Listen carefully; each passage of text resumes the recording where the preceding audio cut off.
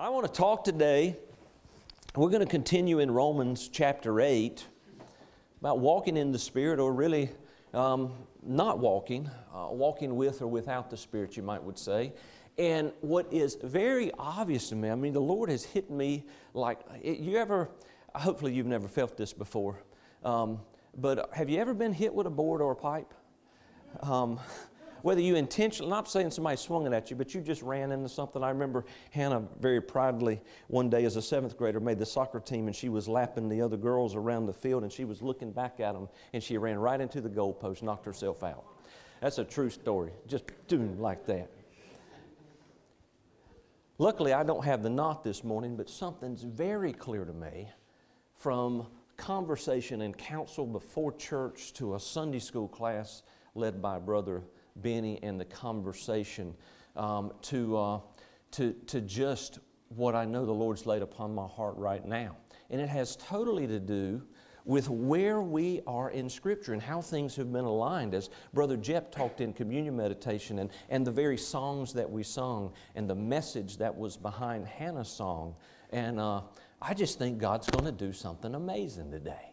So let's be looking for it, okay? Jep, uh, made a comment, or excuse me, not Jep, uh, Brother John made a comment about seeing God. We may not see his physical body, but we see God every day. Amen? And um, I, I just want to see Him today in each and everything we do. So let me get into the Word where the real power is. Let's go to the Lord in prayer. Heavenly Father, I thank you for this time. And God, I thank you for ordaining us right to this place God, for the many things that are taking place in our church congregation, in our families, from sickness to death to challenges, challenges with our job, challenges with, with our, our spouses, challenges with our children, to uh, God, just, just worry and, and uh, guilt that comes upon each one of us, God, in relationship with you. There's, there's so many things, God. We come brokenhearted, we come full of celebration, we come in all kinds of ways. And God, the beauty is you bring us. And in the midst of a group unified in the name of Jesus, God, you do something individually for each one of us, and at the same time, bless us corporately for being together. That's you, God. And I just ask you to speak through the message today. God, may there just be less of me in more of you. May there be power in your word. May we gain new understanding. May it change our lives. God, would you allow your Holy Spirit to meet us wherever we are and invite us closer? And God, for the one or few or many that listen to this and do not know you as their Lord and Savior, May they see the need for a Savior today. And would they answer that call, the call of your Holy Spirit? And would your Holy Spirit just fill them? It is in Jesus' name we pray. Amen. Quickly in front of you, three applications from last week. Application number one there is now, Romans 8 1, no condemnation to those who are in Christ Jesus. No condemnation for those who are in Christ Jesus, meaning we are in a relationship with God through Christ Jesus. Application number two from last week the law of the Spirit of life in Christ Jesus. That goes all together. The law, the principle of the Spirit of life in Christ Jesus hath made me free. What in the world has it freed us from? Uh, Romans chapter 2, verse, uh, excuse me, chapter 8, verse 2, verse 3, verse 4 talks about uh, what, what we can't do with our own flesh. What is it making us free from? From us uh, attempting or trying to be perfect by following the law, which we know we cannot do. It's made us free from that. In fact, application number three says that the Holy Spirit inside of every believer fulfills the righteousness of, of the law. How are we made free? Because we cannot accomplish the law good enough on our own. We will fall short. There is none righteous, no, not one. We're all guilty. We fall short of the love of God, and it is only by God's love and what He's done done through Jesus Christ, His imputed righteousness to us, that we have the blessing, and that comes through the Holy Spirit inside of every believer. It fulfills the righteousness of the law. I had much more to say to get started, but we're already there. So just go with me to verse 5. Walking with or without the Spirit. For they that are after the flesh do mind the things of the flesh, but they that are after the Spirit, the things of the Spirit. For they that are after, those who depend on the flesh, doing things on your own, in your own thought process, do mind, do set the mind, do focus upon, do think this way on things of the flesh. But they that are after, those that depend on the Spirit, those that depend on the Holy Spirit in their life, set the mind, control their thoughts on the things of the Spirit. Have you heard the gospel message? Most of you would say yes. But guess what? We always need to hear it again. God created everything. It was good. Roman, excuse me, Genesis 1. Genesis 2, God talks about the special creation of man. In fact, in 2 7, it says, God took the dust of the ground and He formed it together and He blew in it the breath of life, and man became a living soul, right? And we have these special responsibilities given to man and woman above all other creation. That's the way God created and designed, that we are going to have a part in relationship with Him and a relationship with all of the world because of it. Then Genesis 3 sin enters the world. And sin's penalty is separation from that relationship with God. It is the downfall. And there's all kinds of results. Read chapter 3 of, of Genesis to see those results. We have childbirth and pain with, with ladies. We have men that now have to work until they die on this earth. And all of these other things that come. But most especially, we're separated from our relationship with God because of sin. But God right then in Genesis 3:15 has a promise that He's going to make a way for that separation to be fixed, the void to be removed, the penalty of sin to be paid.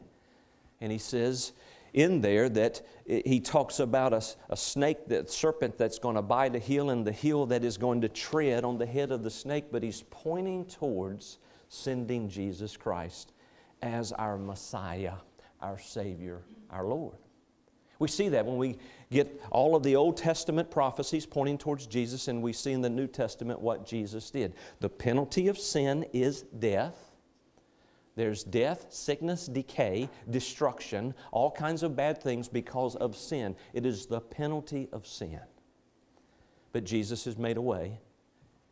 God has made a way through Jesus for that penalty to be fixed, to be paid.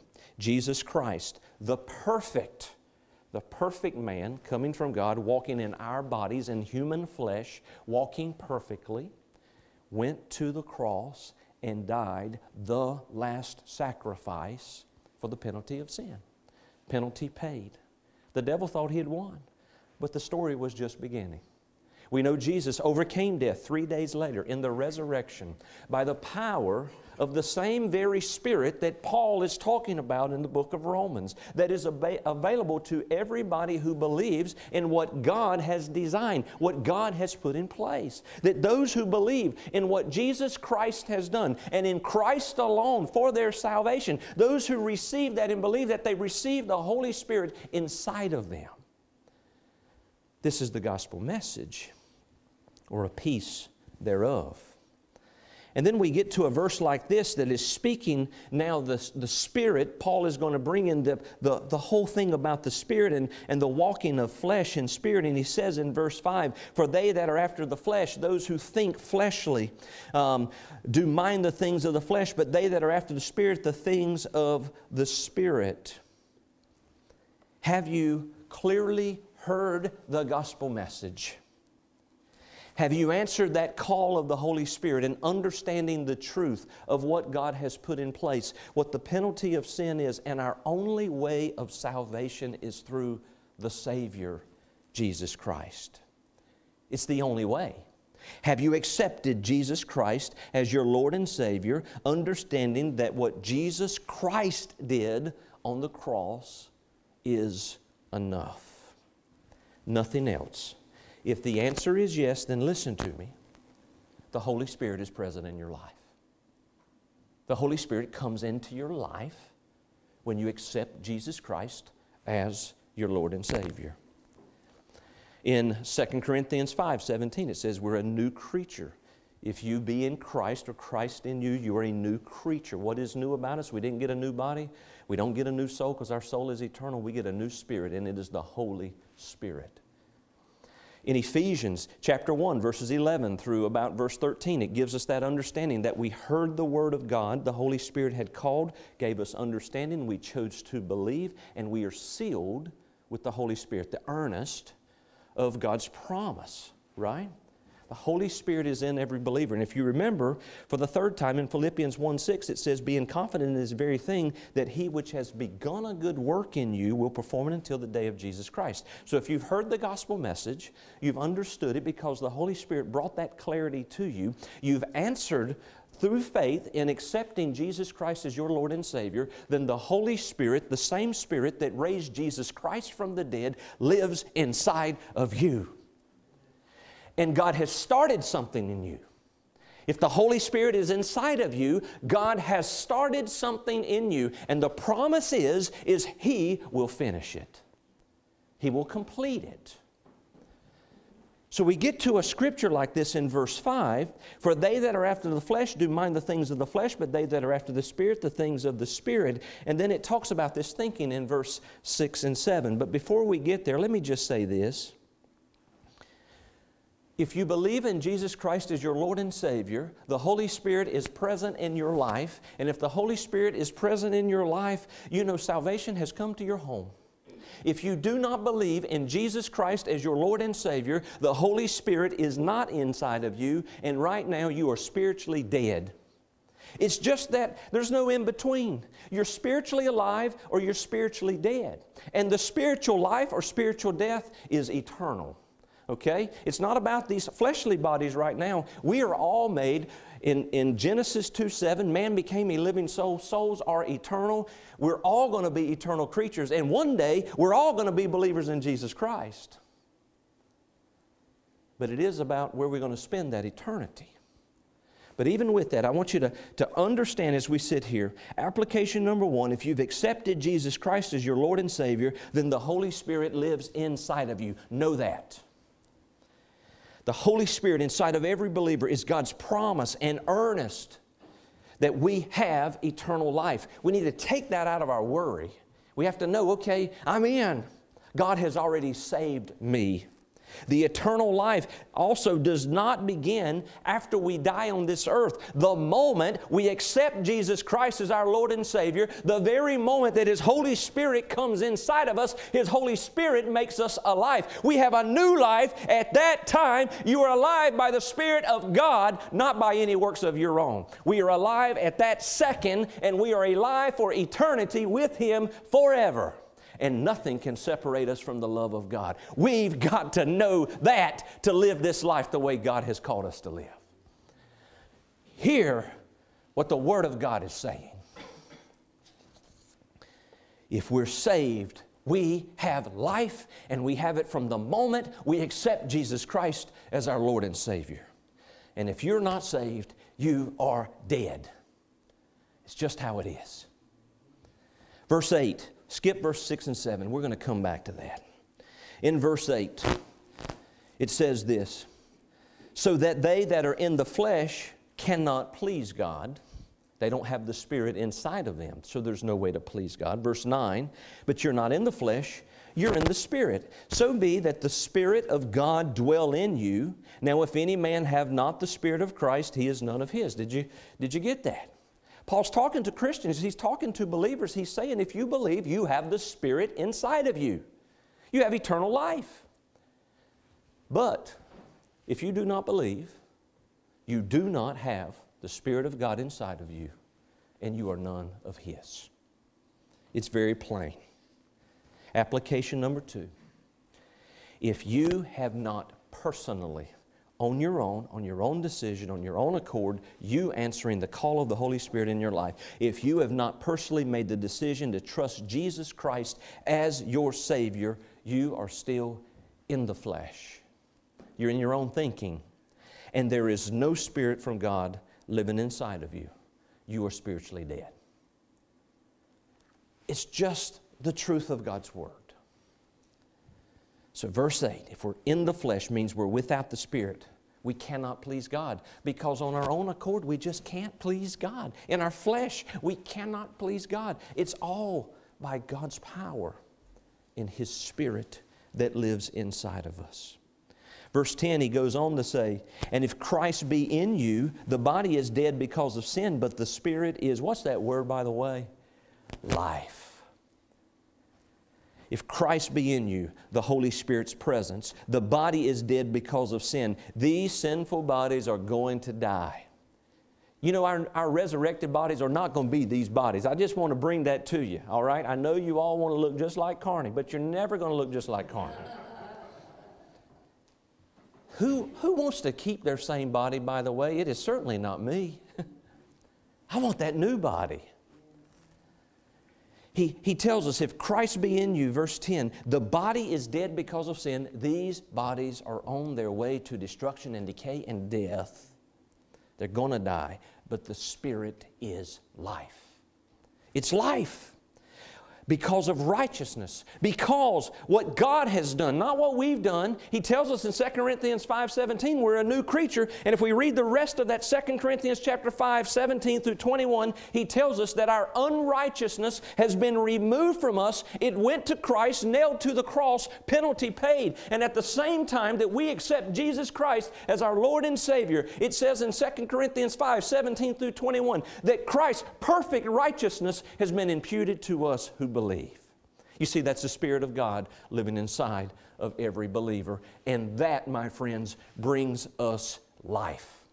You are alive eternally, forever, the day you accept Jesus Christ as your Lord and Savior. The day His Holy Spirit comes inside of you. In fact, it says in verse 11, But if the Spirit of Him that raised up Christ from the dead dwell in you, He that raised up Christ from the dead shall also quicken. Quicken means make alive your mortal bodies by His Spirit that dwell in you.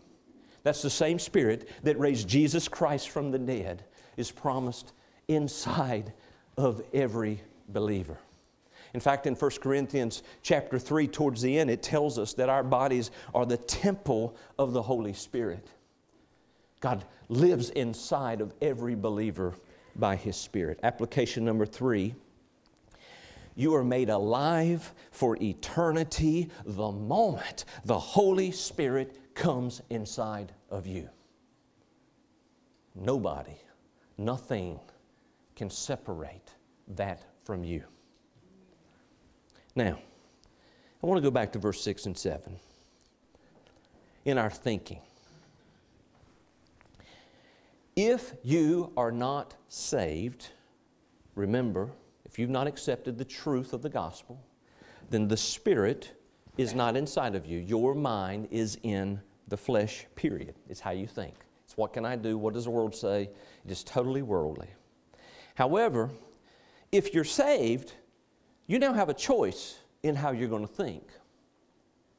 God doesn't make you think a certain way, but He now gives you the power and the truth to be able to start training your thinking. Paul uses this as set the mind or have your mind on things. It means to, to think a certain way in how we think. And um, something just, just very clear in this thinking that as we're saved, we are a babe in Christ. We still see things kind of the same way we did before, but the Spirit is now inside of us. He's trying to grow us. But if we're not careful, we'll still look back to the way we have thought before, and that's thinking as a babe in Christ, it's thinking in the flesh. And the Apostle Paul is really talking here about the power of the Spirit has made you alive, and there's this growth, this Christian sanctification that should be taking place. And it was exactly the conversation in, in Sunday school this morning. And uh, as I look at this, we have a choice. The Holy Spirit is present in us.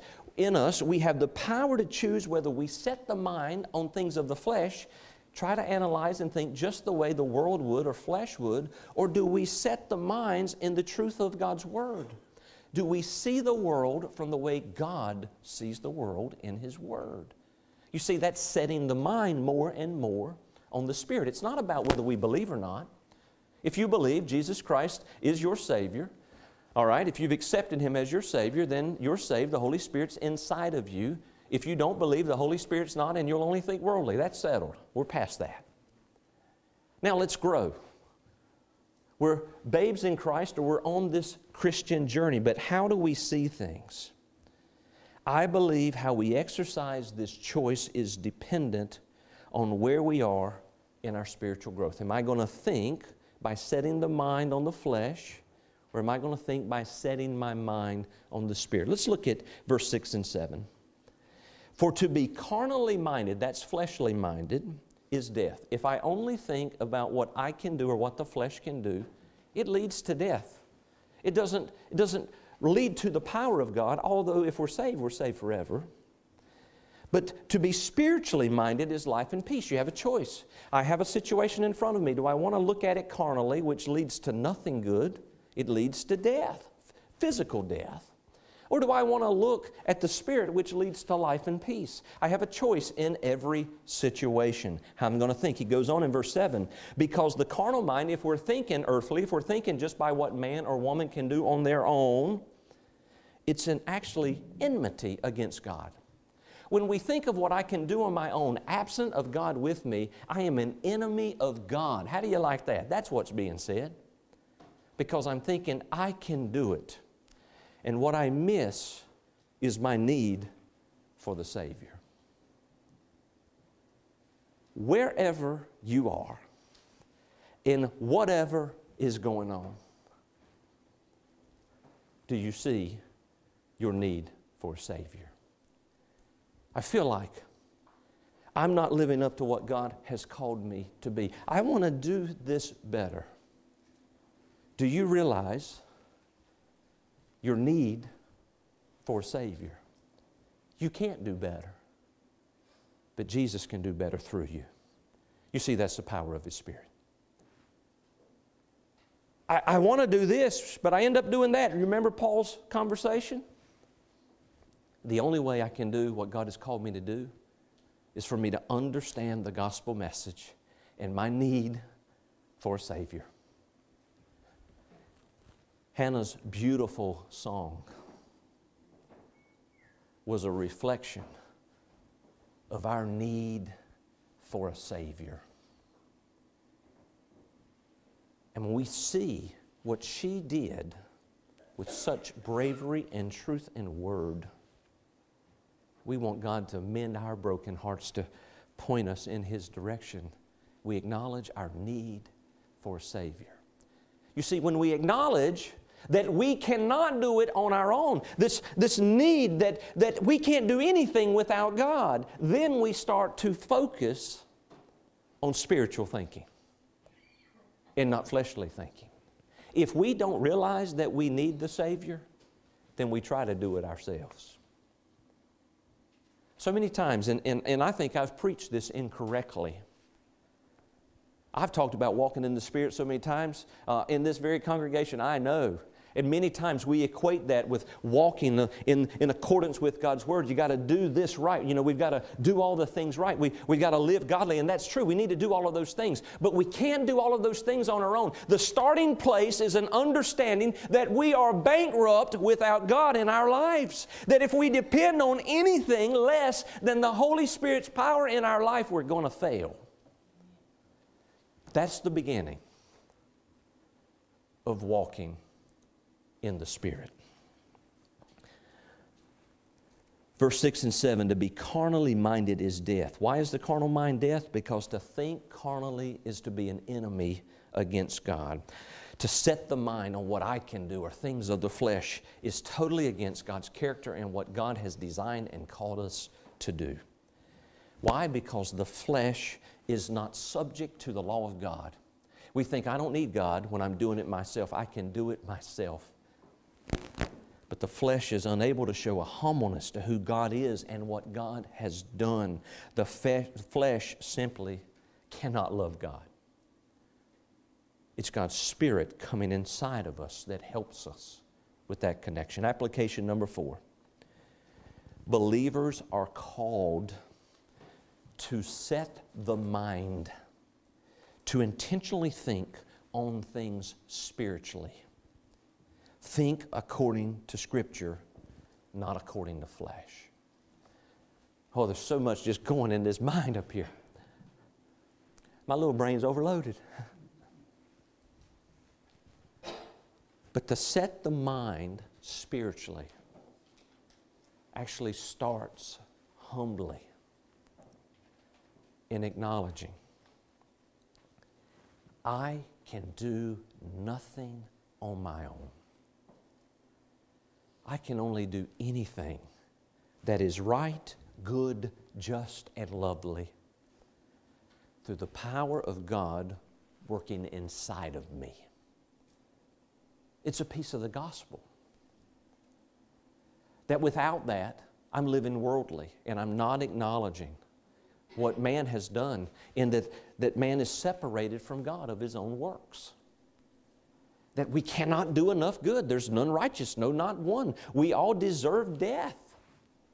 But the gift of God has been eternal life. And that eternal life is the beginning of new life. We're a new creature. His Spirit inside of us, yes, wants us to walk in the Spirit, walk in accordance with God's Word, but not about following the rules. At a humbly beginning of understanding, I cannot achieve on my own. I cannot even breathe on my own. I can't even mourn on my own. I can only do it, first of all, in understanding. I am 100% bankrupt without Christ in my life. And when His Holy Spirit comes into mine in belief, I then have life instantly. Life and peace is promised. So many times in walking in the Spirit, we try to do it all right without accepting that we can't do it on our own. And it starts with humbly accepting the need for a Savior when we see we're bankrupt in front of God, totally dependent on Him, then we start to listen to that Holy Spirit. What does the Holy Spirit do for us? This is not an exhaustive list, just a few things. The Holy Spirit calls us to salvation. It indwells in us. It seals us. He assists us in prayer. He comforts us. He fills us with joy and peace. He causes us to overflow with hope. He leads us into righteousness. He gives us gifts. He convicts the world of sin. He testifies of who Jesus Christ is. He brings us wisdom. These are just a, a snapshot of the many things that the Holy Spirit does when He's inside of our life. But He's a gentleman. He won't force us to see any of this. But when we decide to grow past being a babe in Christ, looking at the world just by what I can do, and we realize I can do nothing without Him. When we start to look at things spiritually, We've reached out in faith. We've accepted Jesus Christ in faith according to His Word and the leading of the Spirit. So we walk more and more in that faith, in the leading of His Spirit. And we grow from a babe to a small child in Christ, to a young adult in Christ, to an adult in Christ, to an older adult in Christ, never being perfected until that day that He calls us home. That's God's design. I ask you this. Number one, have you for sure, on your own accord, with an understanding of the gospel message and your need for a Savior, have you accepted Jesus Christ as your Lord and Savior? And if you have not, There is no reason for you to go out this door today or to be listening online and not accept Jesus Christ as your Lord and Savior. It is the beginning.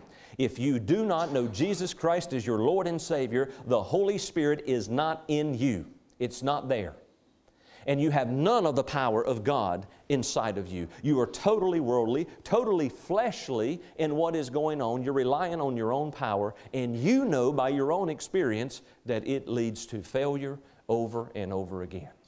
Number two, if you've accepted Jesus Christ as your Lord and Savior, the Holy Spirit lives inside of you. You have new life. You have an imputed righteousness of God. God has promised that what He started in you, He will finish. He will grow you, but He won't rush you. And so, growing in Him first starts with us understanding our need for Him over and over in everything we should see that we need Jesus. And from there, in faith that we've accepted Jesus, now in faith, I will start to walk more and more according to His Word, and we'll be walking in the Spirit. Look, every time we think we don't do something right is actually a glorious time. It's a time for us to say, Oh God, thank you for reminding me I need you. I was about to do this on my own, and it wouldn't have had anywhere near the power that it's going to have now that you are in the middle of my mess. And let us proclaim Him in the middle of our mess. You know, with with a church member this week. We, we, were, we were on the phone in prayer talking, and, and I'm coming to an end. I'll just say there was a lot of challenge. There's a lot of things going on in this person's life. And to the point that I said, as I comment, well, you know, if I talk to you, I'll say, well, how do you want me to pray for you today? I don't even know. Well, hey, let's just praise Him then. Let's just praise Him. And that's what we did. And it led into about a 15 minute praise session between three people and a phone call. But you know who else was there? The Holy Spirit was there. And it was all over. We forgot what the problems were. And we never prayed for a single one because we praised Him. We understood the need of the Savior in it all. And we were able to just give it to Him. You know, all of us need more days like that, don't we? Where, where we just praise Him no matter what's going on, we praise Him. And you know, at the end of the day, He's going to handle most of our problems without us ever even asking. We should communicate with Him. But let God be God and let us understand our need. Would you stand as I pray? Heavenly Father, I come to you this morning and I thank you. God, you, you took what what I had prepared and you just did something else with it. And I thank you for that, God. I thank you for allowing your Spirit to lead. And not only in what I spoke, but in what was heard. And I know as much as everybody heard the message today, they also heard something individual. They heard something for them. And God, I, I just thank you that your word is alive. It's alive right now today as we speak about it, and it's powerful. And God, your Spirit is powerful. The same Spirit that raised Jesus Christ from the dead is in every believer and is present in this very place today.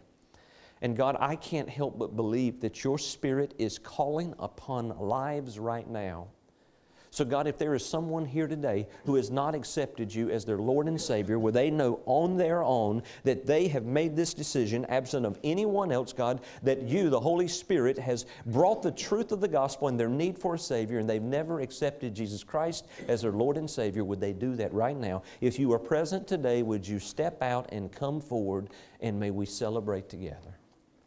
And God, if, if there's somebody here who has just been struggling in their own insecurities, they feel like a failure. They feel like they haven't been able to do this right or that right. Their relationships are, are stressed. The job is a stress. There's just these complications in life. Maybe physically they have something going on, God. And, and in our own way, we've been having our own pity party, God. May we just come to an understanding we are bankrupt without you. May we come to you in acknowledging, God, we need you. We need Jesus Christ in our life. God, if there's someone that you are laying that upon their heart, would they just come up and may we pray and may we celebrate together?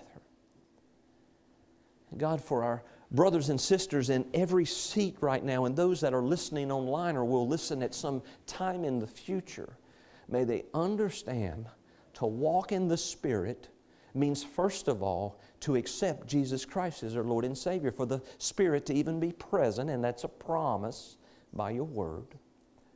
And just as we receive that promise by your grace and our faith, God, that if we will acknowledge our need for you over and over, we will walk more and more in your Spirit.